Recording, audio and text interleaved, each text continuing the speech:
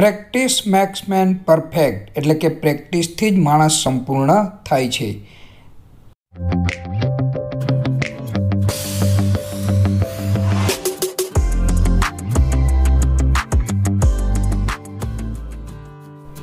Welcome to my YouTube channel CP Nimavat.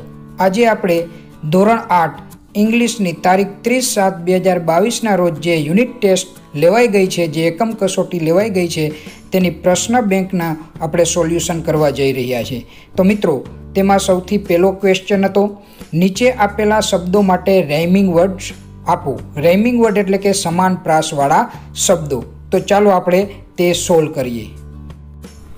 Number one ટોલનું થશે B A double L ball number two B E બેડનું થશે R E D red number three R I N G રિંગનું થશે sing S I N G number four S double E સીનું થશે B double E bee. Number five D E A R ડિયરનું થશે H E A R here. ત્યાર પછી number six M A T met થશે B A T bat. Number seven F U N ફનનું થશે G U N gun. Number eight C R Y ક્રાયનું થશે T R Y try number nine C A V E કેવનું થશે H A V E have number ten B R O T H E R બ્રધરનું થશે M O T H E R mother number eleven S A N D સેન્ડનું થશે A N D and number twelve W H I T E વ્હાઇટનું થશે L I G H T light number thirteen. L O N G E R લોંગરનું થશે S H O R T E R shorter. Number fourteen. B E double L બેલનું થશે T E double L tell. Number fifteen. F double O D ફૂડનું થશે G double O D good. Number sixteen. M A L E મેલનું થશે F A L E fail. Number seventeen. J U જમ્પનું થશે B U M P bump. Number eighteen H O T હોટનું થશે N O T not. Number nineteen C double O K કુકનું થશે L double O K look. Number twenty W I T વીટનું થશે F I T fit. Number twenty one M A P મેપનું થશે C A P cap. Number twenty two H A T હેટનું થશે F A T fat. Number twenty three F O G ફોગનું થશે D O G dog. Number twenty four C O W કાવનું થશે N O W now. Number twenty five G double O D ગુડનું થશે W double O D wood now let see the question number two જેમાં સૂચના આપેલી છે નીચે આપેલી ખાલી જગ્યા પૂરો. મિત્રો, અહીં ઘણી ખાલી જગ્યાઓ આપેલી છે અને કાઉન્સમાં તેના ઓપ્શન આપેલા છે અને ઓપ્શન છે તે પોઝિટિવ, કમ્પેરેટિવ અને સુપરલેટિવ એડજેક્ટિવના રૂપ આપેલા છે. જોઈએ આપણે number one. The Burj Khalifa is the ખાલી જગ્યા બિલ્ડિંગ ઇન ધ વર્લ્ડ. મિત્રો, તમે જોઈ શકો છો અહીં કે ખાલી જગ્યાની આગળ આર્ટિકલ ધ આપેલો છે. જ્યારે પણ ખાલી જગ્યાની આગળ આર્ટિકલ ધ આપેલો હોય, ત્યારે ખાલી જગ્યામાં હંમેશા સુપરલેટિવ એડજેક્ટિવ એટલે કે ઈએસ્ટ વાળું, ઈએસટી વાળું રૂપ જ આવશે. તો પહેલી ખાલી જગ્યાનો આન્સર આવશે tallest. The Burj Khalifa is the tallest building in the world. એટલે કે બુર્જ ખલીફા છે તે વર્લ્ડમાં વિશ્વમાં સૌથી ઊંચામાં ઊંચી બિલ્ડિંગ છે. Number two, a rat is ખાલી જગ્યા ધેન અ રેબિટ. મિત્રો, નંબર ટુમાં તમે જોઈ શકો છો, ખાલી જગ્યાની પાછળ T H A N than આપેલો છે. જ્યારે પણ ખાલી જગ્યાની પાછળ ધેન આપેલું હોય, ત્યારે સમજી જવું કે કમ્પેરેટિવ એડજેક્ટિવનું રૂપ જ ખાલી જગ્યામાં આવશે. એટલે કે ઈ આર વાળું રૂપ જ આવશે.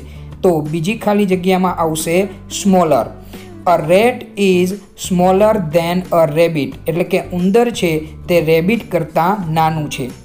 નંબર થ્રી ઇંગ્લિશ ઇઝ ખાલી જગ્યા ધેન મેથેમેટિક્સ મિત્રો, અહીં પણ ખાલી જગ્યાની પાછળ ધેન આપેલું છે, એટલે ઈઆરવાળું રૂપ જ આવશે કાઉન્સમાંથી એટલે કે easier English is easier than mathematics એટલે કે ઇંગ્લિશ છે તે ગણિત કરતાં સહેલું છે. Number four a bus is ખાલી જગ્યા દેન બુલોક કાર્સ મિત્રો નંબર ફોરમાં પણ તમે જોઈ શકો છો, ખાલી જગ્યાની પાછળ ધેન આપેલું છે, એટલે ઈઆરવાળું રૂપ જ આવશે, એટલે કે ફાસ્ટર જ આવશે. A bus is faster than bullock cart એટલે કે બસ છે, તે બળદગાડા કરતાં વધારે ઝડપી ચાલે છે. Number five a camel is ખાલી જગ્યા દેન ડિયર મિત્રો, અહીં પણ તમે જોઈ શકો છો, ખાલી જગ્યાની પાછળ ધેન આપેલું છે, એટલે ઈઆરવાળું રૂપ, એટલે કે હેવિયર જ આવશે. A camel is heavier than deer એટલે કે ઊંટ છે તે હરણ કરતાં વધારે વજનવાળું હોય છે. Number six the Himalaya is the ખાલી જગ્યા mountain range in the world મિત્રો, અહીં ફરી એક વખત તમે જોઈ શકો છો કે ખાલી જગ્યાની આગળ article T H E the આપેલો છે. એટલા માટે સુપરલેટિવ એડજેક્ટિવનું રૂપ, એટલે કે ઈએસટી વાળું રૂપ જ ખાલી જગ્યામાં આવશે. એટલે કે highest the Himalaya is the highest mountain range in the world એટલે કે હિમાલય છે એ દુનિયામાં સૌથી મોટી પર્વતમાળા છે. Number seven an arrow sorry number seven an elephant is the ખાલી જગ્યા એનિમલ મિત્રો, અહીં પણ તમે જોઈ શકો છો, ખાલી જગ્યાની આગળ ફરી પાછો આર્ટિકલ ધ આપેલો છે, એટલે સુપરલેટિવ એડજેક્ટિવનું રૂપ, એટલે કે બિગેસ્ટ ઈએસટી વાળું રૂપ જ આવશે. An elephant is the biggest animal એટલે કે હાથી છે, તે સૌથી મોટું મોટું પ્રાણી છે. Now let see sentence number eight Ahmedabad is the ખાલી જગ્યા સિટી ઇન ધ વર્લ્ડ કાઉન્સમાં આપેલું છે મોર પોલ્યુટેડ એટલે કે વધારે પોલ્યુટેડ મોસ્ટ પોલ્યુટેડ એટલે કે સૌથી વધારે પોલ્યુટેડ અને ખાલી પોલ્યુટેડ એટલે કે પ્રદૂષિત.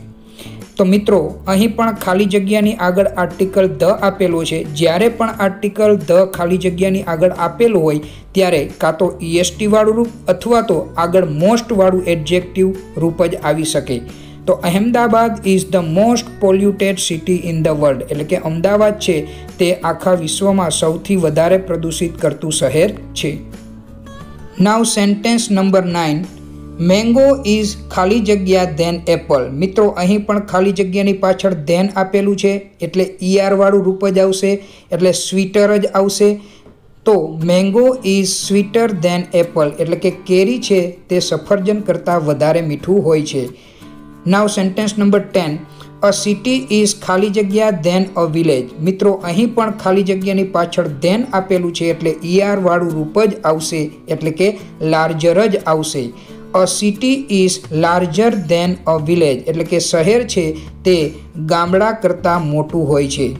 Now eleven sentence number Reena is as ખાલી જગ્યા એઝ રીટા મિત્રો, અહીં ખાલી જગ્યાની આગળ એઝ એઝ આપેલું છે. આગળ પણ એઝ આપેલું છે અને પાછળ પણ એઝ આપેલું છે.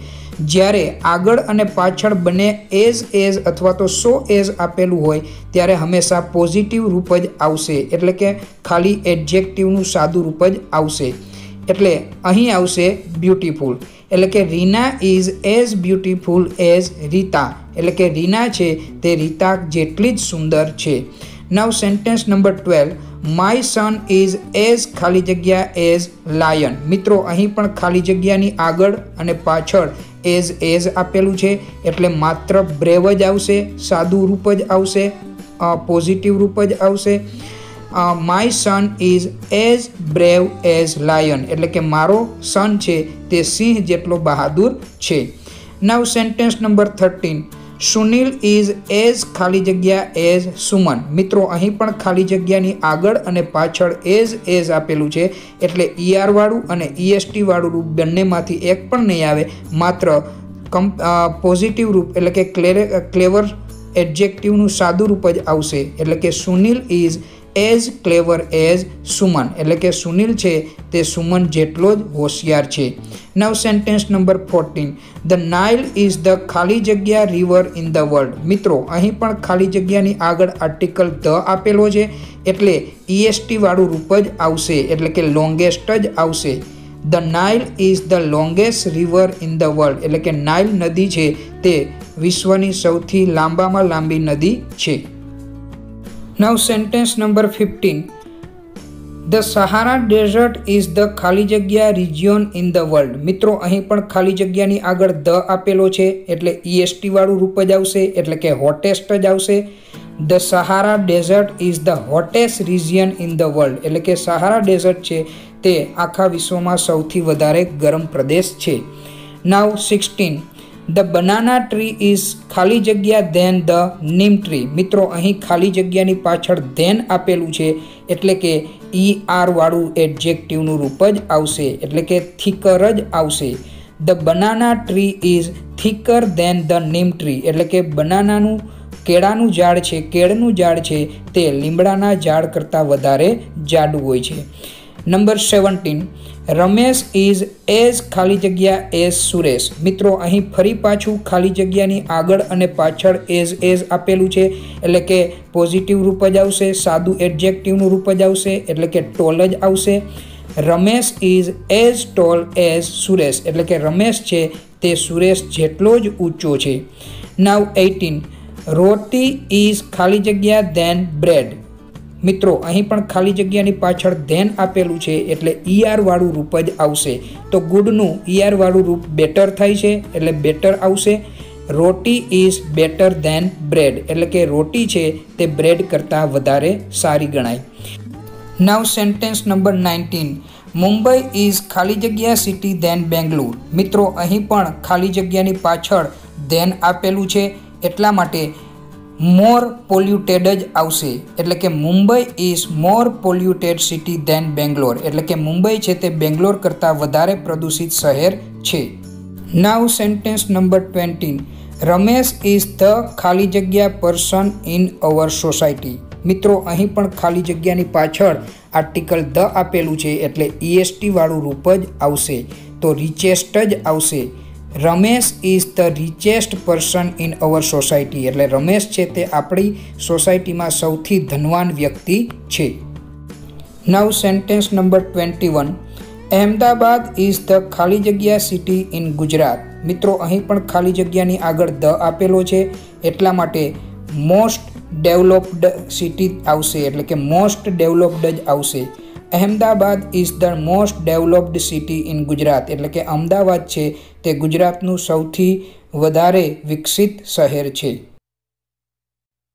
Now let see question number three જેમાં સૂચના આપેલી છે, શબ્દોને યોગ્ય ક્રમમાં ગોઠવી અર્થપૂર્ણ વાક્ય બનાવવું મિત્રો, એમાં પેલું વાક્ય છે best friends trees are our જેનું અર્થપૂર્ણ વાક્ય થશે trees are our best friends એટલે કે વૃક્ષો આપણા પાકા મિત્રો છે. Sentence number two to nice meet you જેનું અર્થપૂર્ણ વાક્ય થશે નાઇસ ટુ મીટ યુ એટલે કે તમને મળીને આનંદ થયો. Sentence number three this competition of is the host mister Parmar જેનું અર્થપૂર્ણ વાક્ય થશે mister Parmar is the host of this competition એટલે કે મિસ્ટર પરમાર છે, તે આ સ્પર્ધાના હોસ્ટ છે. Now sentence number four the participants all the best to જેનું અર્થપૂર્ણ વાક્ય થશે. All the best to the participants એટલે કે બધા ભાગ લેનારાઓને શુભેચ્છા. Sentence number five ready you are question mark જેનું અર્થપૂર્ણ વાક્ય થશે. Are you ready question mark એટલે શું તમે તૈયાર છો? Now sentence number six the poem Gram Mata wrote who question mark જેનું અર્થપૂર્ણ વાક્ય થશે, વુ રોટ the poem Gram Mata question mark એટલે કે ગ્રામ માતા કાવ્ય કોણે લખ્યું હતું? Sentence number seven in a hut lived saint Haridas જેનું અર્થપૂર્ણ વાક્ય થશે saint Haridas lived in a hut એટલે કે સેન્ટ હરિદાસ છે તે એક ઝૂંપડામાં રહેતા હતા. Sentence number eight the most expensive building is Burj Khalifa જેનું અર્થપૂર્ણ વાક્ય થશે. Burj Khalifa is the most expensive building એટલે કે બુર્જ ખલીફા સૌથી ખર્ચાળ બિલ્ડિંગ છે. Now sentence number nine nine gems in his court had Akbar જેનું અર્થપૂર્ણ વાક્ય થશે. Akbar had nine gems in his court એટલે કે અકબરના દરબારમાં નવ રત્નો હતા. Now sentence number ten capital Delhi is the India of જેનું અર્થપૂર્ણ વાક્ય થશે. Delhi is the capital of India એટલે કે દિલ્હી છે તે ભારતની રાજધાની છે. Now sentence number eleven the king before bowed Tansen એનું અર્થપૂર્ણ વાક્ય થશે. Tansen bowed before the king, એટલે કે તાનસેન રાજાની સમક્ષ નમન કર્યું, પ્રણામ કર્યું. Now sentence number twelve, Tansen to meet Akbar was very eager, જેનું અર્થપૂર્ણ વાક્ય થશે, Akbar was very eager to meet Tansen, એટલે કે અકબર છે તે તાનસેનને મળવામાં માટે ઉત્સુક હતો. Now sentence number thirteen, white in colour is milk. જેનું અર્થપૂર્ણ વાક્ય થશે, milk is white in colour. એટલે કે દૂધ રંગમાં સફેદ હોય છે. Now sentence number fourteen. Happened to you what is. જેનું અર્થપૂર્ણ વાક્ય થશે, what is happen to you. એટલે કે તમને શું થયું છે? Now sentence number fifteen. All around the sweetness of his voice spread જેનું અર્થપૂર્ણ વાક્ય થશે the sweetness of his voice spread all around એટલે કે તેના અવાજની મધુરતા ચારે તરફ ફેલાઈ ગઈ. Now sentence number sixteen who the king of kings is sings for one Guruji જેનું અર્થપૂર્ણ વાક્ય થશે Guruji sings for one who is the king of the kings એટલે કે ગુરુજી માત્ર એક વ્યક્તિ માટે જ ગાય છે કે જે રાજાઓનો પણ રાજા છે. Now sentence number seventeen loves Neha read books to જેનું અર્થપૂર્ણ વાક્ય થશે. Neha loves to read books એટલે કે નેહાને બુક વાંચવું ગમે છે. Now sentence number eighteen give a pen me please જેનું અર્થપૂર્ણ વાક્ય થશે give me a pen please અથવા તો please give me a pen એટલે કે, મહેરબાની કરીને તમે મને પેન આપો. Now sentence number nineteen your do work જેનું અર્થપૂર્ણ વાક્ય થશે ડુ યોર વર્ક એટલે કે, તમે તમારું કામ કરો. Now sentence number twenty teacher is a my mother, જેનું અર્થપૂર્ણ વાક્ય થશે, my mother is a teacher. એટલે કે મારા મમ્મી એક શિક્ષિકા છે. Now sentence number twenty one the highest peak is in the world which question mark જેનું અર્થપૂર્ણ વાક્ય થશે which is the highest peak in the world એટલે કે વિશ્વમાં સૌથી ઊંચી ચોટી કઈ છે? Now sentence number twenty two less pollution has Gandhinagar sorry city Gandhinagar જેનું અર્થપૂર્ણ વાક્ય થશે Gandhinagar city has less pollution એટલે કે ગાંધીનગર શહેરમાં ઓછું પ્રદૂષણ છે.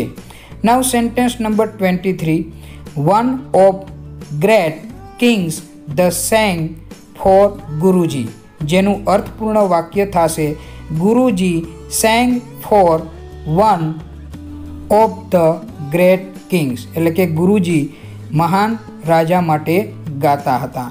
Now sentence number twenty four was the best one this જેનું અર્થપૂર્ણ વાક્ય થશે this was the best one એટલે કે આ એક શ્રેષ્ઠ છે. Now sentence number twenty five is Burj Khalifa the building tallest જેનું અર્થપૂર્ણ વાક્ય થશે, Burj Khalifa is the tallest building. એટલે કે બુર્જ ખલીફા છે તે સૌથી ઊંચામાં ઊંચી બિલ્ડિંગ છે. Now let see question number four જેમાં સૂચના આપેલી છે, એવા પ્રશ્નો બનાવો કે જેનો જવાબ નીચે આપેલ વાક્યમાં લીટી દોરેલ શબ્દ જ આવે.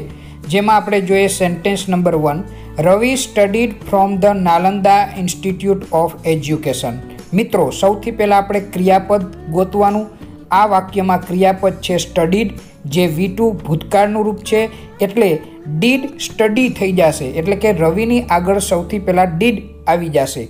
અને અંડરલાઇનિંગ છે નાલંદા. એટલે કે જે સ્થળનું નામ છે ઇન્સ્ટિટ્યૂટનું નામ છે. એટલે જ્યારે સ્થળના નામની નીચે અંડરલાઇનિંગ હોય, ત્યારે વેરથી પ્રશ્ન પૂછી શકીએ.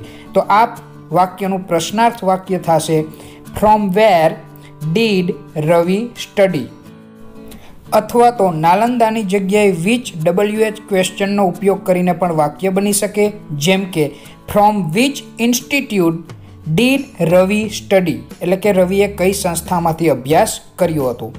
Now sentence number two Kiran Bedi is the first woman IPS officer of India જેમાં અંડરલાઇનિંગ છે the first woman IPS officer of India એટલે કે વોટથી પ્રશ્ન બનશે. તો સૌથી પહેલાં વોટ, ત્યાર પછી કિરણ બેદી ઇઝ છે, એને ઉલટાવીને મૂકશું એટલે કે ઇઝ કિરણ બેદી. એટલે કે વોટ ઇઝ કિરણ બેદી? એટલે કે કિરણ બેદી શું છે? Now sentence number three. Premchand wrote Godan. પ્રેમચંદે Godan નામનું બુક લખી હતી. તો અહીં પણ ગોદાન છે એની નીચે અંડરલાઇનિંગ છે એટલે આ વાક્ય પણ વોટથી પ્રશ્ન પૂછી શકીએ. પણ સૌથી પહેલાં આપણે ક્રિયાપદ ગોતીએ. જે રોટ છે, જે વી ટુ છે, એટલે કે ભૂતકાળનું રૂપ છે. તો પ્રેમચંદની આગળ ડીડ લાગી જશે અને રોટનું વી ટુ છે, એનું વી વન એટલે કે રાઇટ થઈ જશે. તો આ વાક્યનું પ્રશ્નાર્થ વાક્ય થશે. What did Premchand write question mark એટલે કે પ્રેમચંદે શું લખ્યું હતું? Now sentence number four Mahatma Gandhi was born in Porbandar on second October eighteen sixty nine જેમાં અંડરલાઇનિંગ પોરબંદરની નીચે છે, જે એક સ્થળનું નામ છે, શહેરનું નામ છે, એટલે આ વાક્ય વેરથી બનશે, આ વાક્યનું પ્રશ્નાર્થ વાક્ય વેરથી બનાવી શકીએ. હેલ્પિંગ વર્બ વોઝ છે, એટલે ગાંધીજી, મહાત્મા ગાંધી વોઝને ઉલટાવીને મૂકશું. તો સૌથી પહેલાં વેર, ત્યારબાદ was Mahatma Gandhi born on second October eighteen sixty nine ફરી એક વખત where was Mahatma Gandhi born on second October eighteen sixty nine now sentence number five last year Mita stayed at Delhi for nine days એટલે કે ગયા વર્ષે મિતા છે તે દિલ્હીમાં નવ દિવસ રોકાઈ હતી. મિત્રો, સૌથી પહેલાં ક્રિયાપદ શોધીએ. જે સ્ટેડ છે, એટલે કે પાછળ ઈડી છે, એટલે કે ભૂતકાળનું રૂપ છે, વી ટુ છે. તો અહીં મિતાની આગળ ડીડ મૂકવો પડશે અને સ્ટેડ વી ટુનું વી વન કરવું પડશે, એટલે કે સ્ટેડની પાછળથી ઈડી નીકળી જશે. હવે અંડરલાઇનિંગ છે તે નાઇન ડેઝ એટલે કે નવ દિવસની નીચે છે. જ્યારે સંખ્યાની નીચે અંડરલાઇનિંગ હોય, ત્યારે હાઉ મેનીથી પ્રશ્ન બની શકે. તો નાઇન ડેઝનું થઈ જશે how many days did Mita stayed at Delhi last year મિત્રો, આપણે લાસ્ટ યર છેલ્લે મૂકી દેશું. ફરીથી how many days did Mita stay at Delhi last year એટલે કે મિતા ગયા વર્ષે દિલ્હીમાં કેટલા દિવસ રોકાઈ હતી? જેનો આન્સર આપણે ખબર જ છે nine days Now, let's see sentence number 6. My mother made lemon juice in the noon time. મિત્રો, સૌથી પહેલાં ક્રિયાપદ ગોતીએ. જે મેડ છે, વી ટુ છે, એટલે માય મધરની આગળ ડીડ આવી જશે અને મેડ વી ટુનું વી વન એટલે કે મેક થઈ જશે. અંડરલાઇનિંગ છે ઇન ધ નૂન ટાઈમ જે સમય દર્શાવે છે. જ્યારે સમય દર્શક શબ્દોની નીચે અંડરલાઇનિંગ હોય, ત્યારે વેનથી જ પ્રશ્ન બનશે. તો આ સેન્ટેન્સનું પ્રશ્નાર્થ વાક્ય થશે when did my mother make lemon juice question mark એટલે મારી મમ્મી ક્યારે લીંબુ શરબત બનાવ્યું? Now sentence number seven Bharti and Bhavesh were in the hospital last week. મિત્રો, જ્યારે સબ્જેક્ટની જગ્યાએ એટલે કે શરૂઆતમાં જ જ્યારે અંડરલાઇનિંગ હોય, ત્યારે એ વાક્યનું પ્રશ્નાર્થ વાક્ય ડબલ્યુ એચ ઓ વુથી પ્રશ્ન બનાવી શકાય અને સાવ સેલો છે વુથી પ્રશ્ન બનાવો. જે નામની નીચે અંડરલાઇનિંગ, સબ્જેક્ટની નીચે અંડરલાઇનિંગ હોય, એની જગ્યાએ માત્ર ડબલ્યુ એચ ઓ વુ મૂકી દેવાથી પ્રશ્નાર્થ વાક્ય બની જાય. તો આ વાક્યનું પ્રશ્નાર્થ વાક્ય થશે. Who were in the hospital last week question mark now sentence number eight Vandana was in her farm yesterday મિત્રો, અહીં પણ તમે જોઈ શકો છો કે સબ્જેક્ટ વંદનાની નીચે અંડરલાઇનિંગ છે. તો વંદનાની જગ્યાએ માત્ર વુ ડબલ્યુ એચ ક્વેશ્ચન મૂકી દેવાથી પ્રશ્નાર્થ વાક્ય બનાવી શકાય. જેમ કે who was in her farm yesterday question mark now sentence number nine Rajesh was absent on Wednesday એટલે કે રાજેશ બુધવારના દિવસે ગેરહાજર હતું. મિત્રો, અહીં આપણે જોઈએ છે ઓન વેનસડે એટલે કે બુધવાર, જે એક સમયદર્શક શબ્દની નીચે અંડરલાઇનિંગ છે. એટલે આ વાક્યનું પ્રશ્નાર્થ વાક્ય આપણે વેનથી બનાવી શકીએ. તો સૌથી પહેલાં મૂકશું વેન ત્યાર પછી રાજેશ વોઝ છે. એને ઉલટાવીને મૂકશું એટલે કે વોઝ રાજેશ અને absent when was Rajesh absent question mark એટલે કે રાજેશ ક્યારે એબસન્ટ હતો? Now sentence number ten yesterday at eleven o'clock Mona visited the market મિત્રો, સૌથી પહેલાં આપણે ક્રિયાપદ શોધીએ. જે વિઝિટેડ છે, એટલે કે વી ટુ છે, ભૂતકાળનું રૂપ છે, તો મોનાની આગળ ડીડ આવી જશે અને વિઝિટેડ જે વી ટુ છે, એનું વી વન કરવું પડશે. એટલે કે વિઝિટેડનું થઈ જશે માત્ર વિઝિટ અંડરલાઇનિંગ છે yesterday at eleven o'clock જે સમય દર્શાવે છે, જ્યારે સમય દર્શકની શબ્દની નીચે અંડરલાઇનિંગ હોય, ત્યારે વેનથી જ પ્રશ્ન બનાવી શકાય. તો આ વાક્યનું પ્રશ્નાર્થ વાક્ય આ રીતના થશે. When did Mona visit the market question mark એટલે કે મોનાએ માર્કેટની મુલાકાત ક્યારે લીધી હતી? Now sentence number eleven Sunita Williams was born on nineteen September nineteen sixty five in Ohio જેમાં અંડરલાઇનિંગ છે nineteen September nineteen sixty five જે એની જન્મની તારીખ બતાવે છે, જે સમયદર્શક શબ્દ છે, એટલે આ વાક્ય પણ વેનથી પ્રશ્ન બનાવી શકીએ. તો સૌથી પહેલાં આપણે વેન મૂકશું, ત્યાર પછી સુનિતા વિલિયમ વોઝ છે, એમાં હેલ્પિંગ વર્બ વોઝને આપણે આગળ લઈ લેશું, એટલે કે when was Sunita Williams born in Ohio. એટલે કે સુનિતા વિલિયમનો જન્મ ઓહિયોમાં ક્યારે થયો હતો? Now sentence number twelve Rama attended the special classes to learn English મિત્રો, સૌથી પહેલાં આપણે ક્રિયાપદ જોઈએ, જે એટેન્ડેડ છે, જે વી ટુ છે, એટલે માટે રમાની આગળ આપણે ડીડ મૂકવો પડશે અને અટેન્ડેડ વી ટુનું વી વન કરવું પડશે, એટલે કે અટેન્ડેડનું ખાલી થઈ જશે અટેન્ડ અંડરલાઇનિંગ છે ટુ લર્ન ઇંગ્લિશ મિત્રો, જ્યારે અંડરલાઇનિંગની શરૂઆત ટુથી શરૂ થતી હોય, ત્યારે સમજી લેવું કે આ વાક્યનું પ્રશ્નાર્થ વાક્ય વાયથી જ બનશે. તો why did Rama attend the special classes question mark એટલે કે રમા ખાસ ક્લાસીસ શા માટે જોઈન કર્યા હતા? જેનો આન્સર થશે ટુ લર્ન ઇંગ્લિશ એટલે કે ઇંગ્લિશ શીખવા માટે. Now sentence number thirteen Mihir's painting business advertisement appeared in the newspaper last week. એટલે કે મિહિરના પેઇન્ટિંગ બિઝનેસની જે જાહેરાત છે તે ગયા અઠવાડિયાના છાપામાં પ્રદર્શિત થઈ હતી. ગયા અઠવાડિયાના છાપામાં છપાયેલી હતી. તો મિત્રો, સૌથી પહેલાં ક્રિયાપદ જે અપિયર્ડ છે, જે વી ટુ છે, ભૂતકાળનું રૂપ છે, એટલે અહીં મિહિર્સ પેઇન્ટિંગ બિઝનેસ એડવર્ટાઇઝમેન્ટની આગળ ડીડ આવી જશે અને અપિયર્ડનું વી વન થઈ જશે, એટલે કે ખાલી અપિયર જ રહેશે. અંડરલાઇનિંગ છે તે લાસ્ટ વીક છે, એટલે કે ગયા અઠવાડિયે જે સમયદર્શક શબ્દ છે, એટલે વેનથી પ્રશ્ન બનાવી શકીએ. તો સૌથી પહેલાં આવશે વેન ત્યારબાદ did Mihir's painting business advertisement appear in the newspaper question mark એટલે કે મિહિરની પેઇન્ટિંગ બિઝનેસ એડવર્ટાઇઝમેન્ટની જાહેરાત છે, એ છાપામાં ક્યારે પ્રદર્શિત થઈ હતી? Sentence number fourteen Rita and her family were in her village farm yesterday એટલે કે રીટા અને તેના ફેમિલી મેમ્બર્સ ગઈકાલે પોતાના ગામના ખેતરમાં હતા. મિત્રો, અહીં તમે જોઈ શકો છો કે સબ્જેક્ટની જગ્યાએ નીચે અંડરલાઇનિંગ છે, એટલે કે રીટા એન્ડ હર ફેમિલીની નીચે અંડરલાઇનિંગ આપેલી છે. જેની જગ્યાએ માત્ર W H O who W H question મૂકી દેવાથી આ વાક્યનું પ્રશ્નાર્થ વાક્ય થઈ જશે. જેમ કે who were in her village farm yesterday એટલે કે ગઈકાલે પોતાના ખેતરમાં કોણ હતું?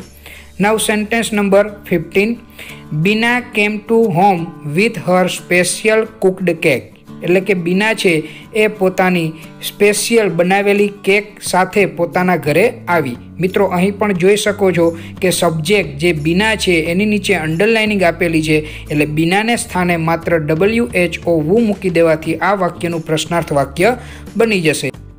જેમ કે, who came to home with her special cooked cake? એટલે કે, કોણ પોતાની સ્પેશિયલ બનાવેલી કેક સાથે ઘરે આવી?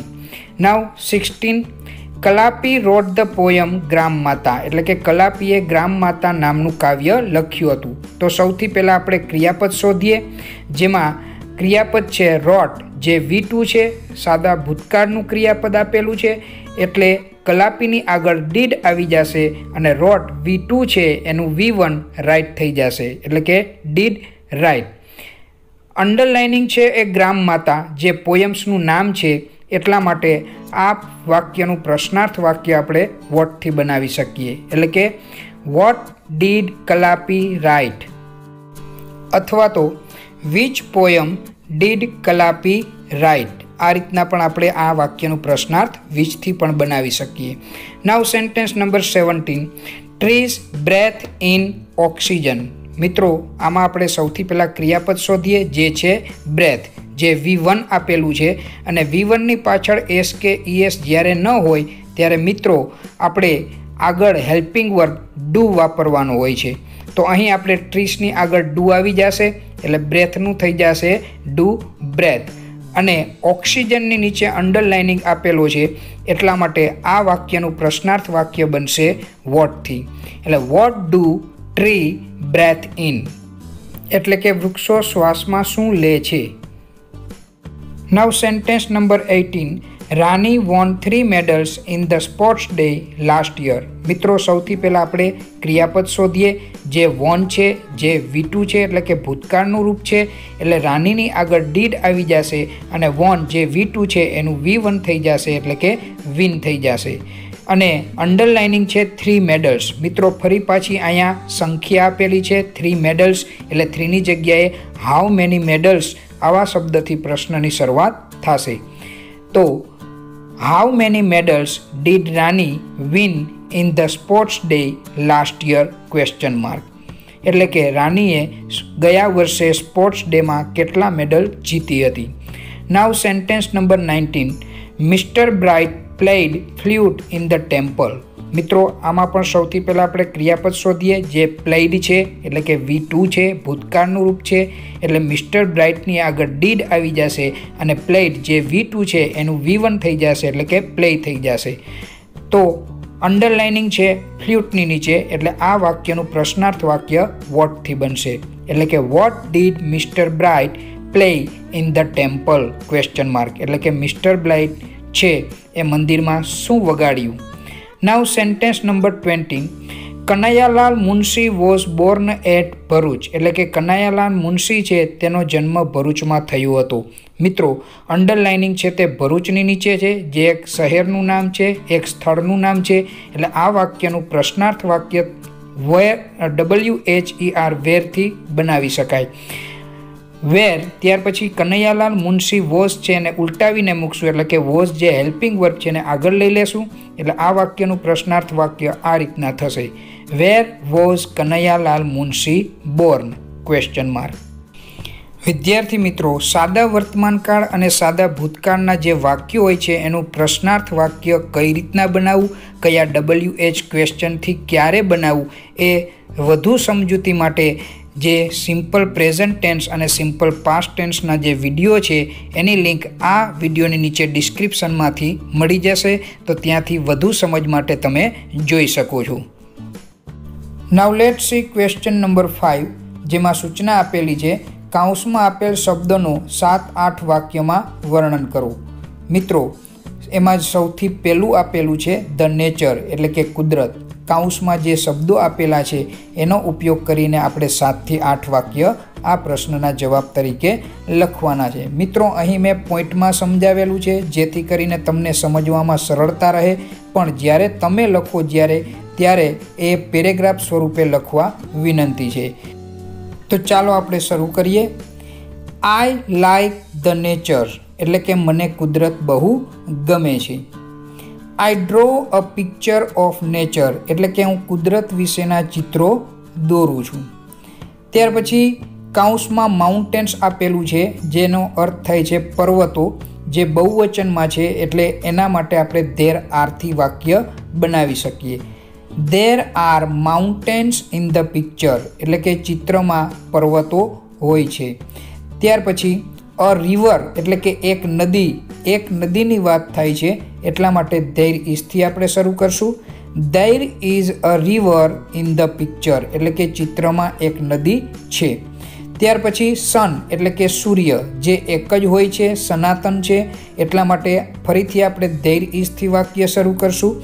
એટલે કે there is the sun in the picture, એટલે કે ચિત્રમાં એક સૂર્ય છે. ત્યાર પછી અ ટ્રી એટલે કે એક વૃક્ષ. એક વૃક્ષની વાત થાય એટલા માટે પણ આપણે ધૈર ઇઝથી વાક્ય શરૂ કરી શકીએ. There is a big tree in the picture એટલે કે ચિત્રમાં એક મોટું વૃક્ષ છે. ત્યાર પછી અ ટેમ્પલ એટલે કે એક મંદિર. મંદિર એક જ છે એટલે ફરી પાછું આપણે ધૈર ઇઝથી વાક્ય શરૂ કરશું. There is a temple in the picture એટલે કે ચિત્રની અંદર એક મંદિર પણ છે. ત્યાર પછી ક્લાઉડ્સ એટલે કે વાદળો, જે બહુવચનમાં છે, એટલા માટે દેર ઇઝને બદલે આપણે ધેર આરથી વાક્યની શરૂઆત કરશું. There are many clouds in the sky એટલે કે આકાશમાં ઘણા બધા વાદળો છે. ત્યાર પછી બર્ડ્સ એટલે કે પક્ષીઓ, જે બહુવચનમાં છે, એટલે ફરી પાછું આપણે ધેર આરથી શરૂ કરશું. There are many birds in the sky એટલે કે આકાશમાં ઘણા બધા પક્ષીઓ છે. અને છેલ્લે આપણે લખી શકીએ I like the nature most એટલે કે મને કુદરત બહુ ગમે છે. Now number two the garden એટલે કે બગીચો. નીચે શબ્દો આપેલા છે, એના ઉપરથી આપણે વાક્યો બનાવવાના છે. તો પહેલું વાક્ય આપણે બનાવી શકીએ. પહેલું જે પોઈન્ટ છે શબ્દ છે ગાર્ડન, એટલે કે એક જ બગીચો છે, એક વચનમાં છે, એટલે આપણે ધૈર્યથી વાક્ય શરૂ કરશું. There is a beautiful garden in my school એટલે કે મારી સ્કૂલમાં એક સુંદર બગીચો છે.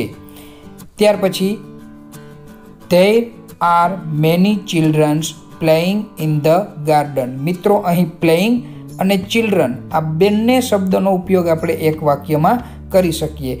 There are many childrens playing in the garden એટલે કે બગીચામાં ઘણા બધા બાળકો રમતો રમી રહ્યા છે.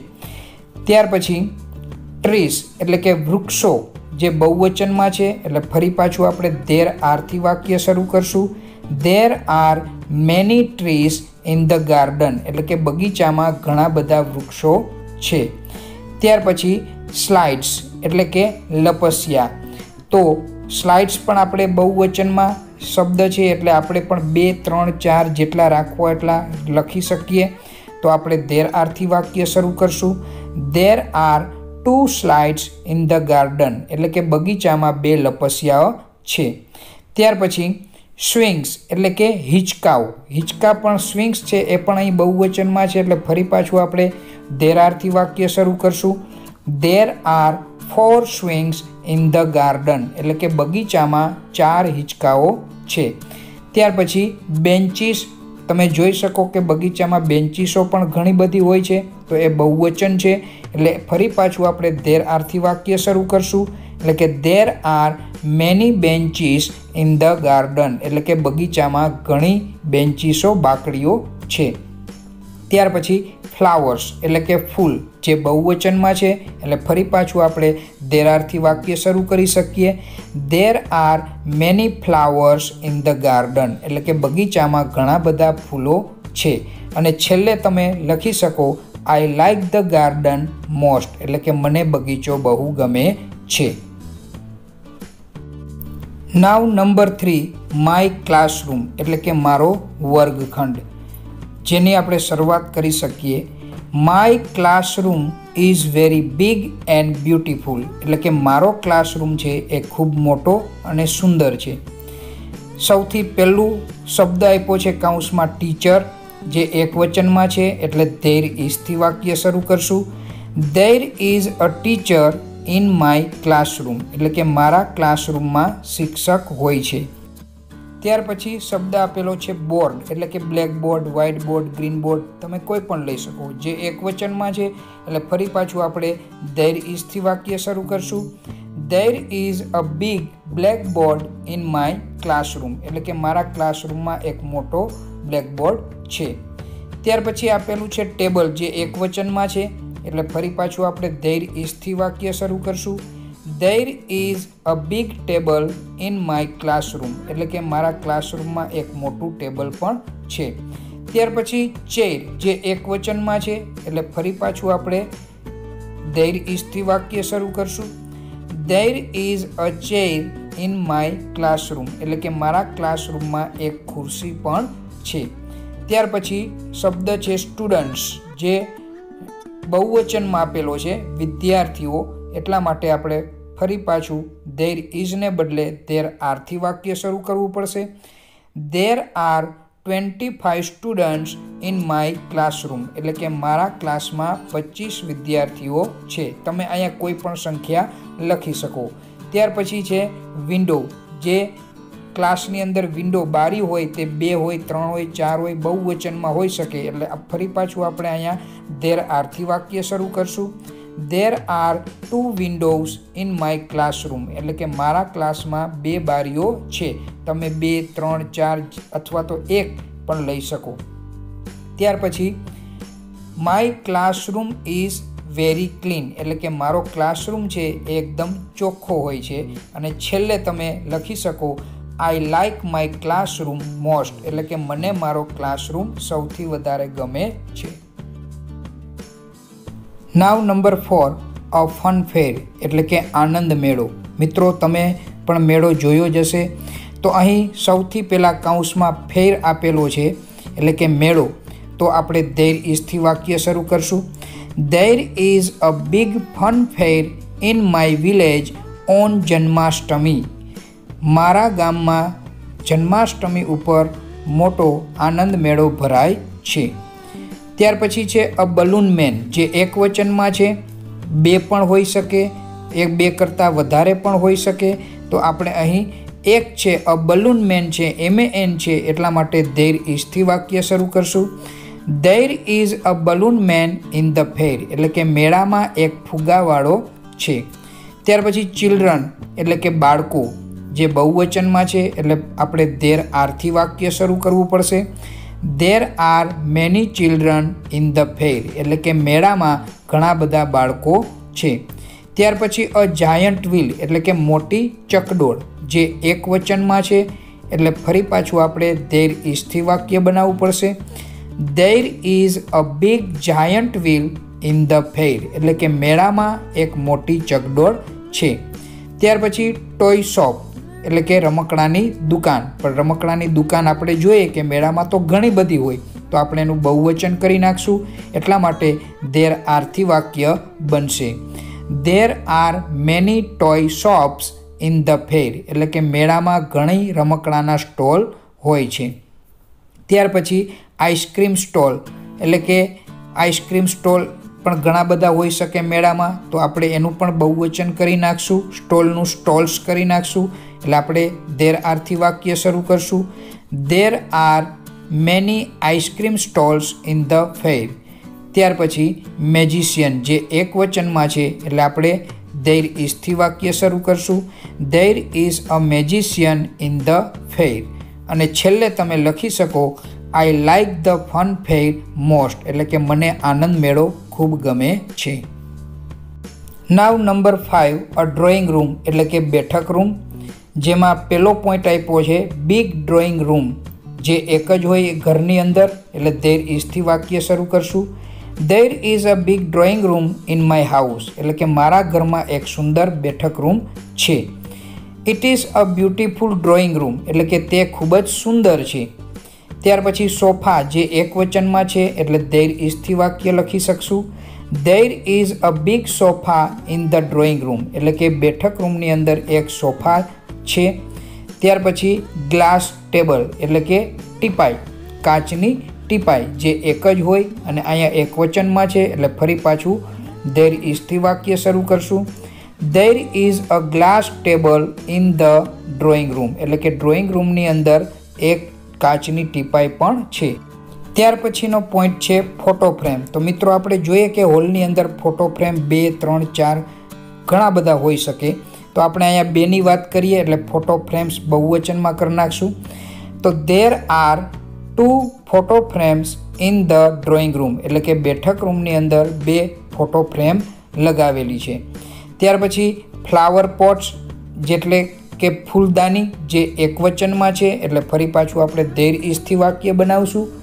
There is a beautiful flower pot in the drawing room એટલે કે બેઠક રૂમની અંદર એક સુંદર ફૂલદાની છે. ત્યાર પછી ટેલિવિઝન એટલે કે ટીવી જે એક વચનમાં છે અને એક જ હોય. તો ફરી પાછું આપણે ધેર ઇઝથી વાક્ય બનાવશું. There is a big smart television in the drawing room એટલે કે બેઠક રૂમની અંદર એક સરસ મજાનું સ્માર્ટ ટીવી પણ છે. ત્યાર પછી વિન્ડો એટલે કે બારી. એક પણ હોઈ શકે, બે પણ હોઈ શકે. આપણે અહીંયા બેની વાત કરીએ. તો ધેર આરથી વાક્ય બનાવશું. There are two big windows in the drawing room એટલે કે બેઠક રૂમની અંદર બે મોટી બારીઓ પણ છે. ત્યાર પછી ફેન એટલે કે પંખો, જે એક જ હોય અને એક વચનમાં છે, એટલે ફરી પાછું આપણે ધેર ઇઝથી વાક્ય બનાવશું. There is a fan in the drawing room એટલે કે ડ્રોઈંગ રૂમમાં એક પંખો પણ છે. અને છેલ્લે આપણે લખી શકીએ I like my drawing room the most એટલે કે મને મારી બેઠક રૂમ ખૂબ ગમે છે. તો વિદ્યાર્થી મિત્રો, આશા રાખું છું કે આ વીડિયો દ્વારા તમને ઘણું બધું સમજાણું હશે, ઘણું બધું નવું જાણવા મળ્યું હશે. તો આ વીડિયો બનાવવાનો હેતુ છે માત્ર ને માત્ર પ્રેક્ટિસ કે તમે વધુને વધુ પ્રેક્ટિસ કરી શકો અને સારામાં સારા એક્ઝામમાં માર્ક્સ લાવી શકો. જો તમને આ વીડિયો પસંદ આવ્યો હોય તો લાઈક કરો, શેર કરો અને સબસ્ક્રાઈબ કરો my YouTube channel CP Nimavat. ફરી મળશું નવા એક ટોપિક સાથે, નવા એક વિષય સાથે. તબ તક જય હિન્દ, જય ભારત.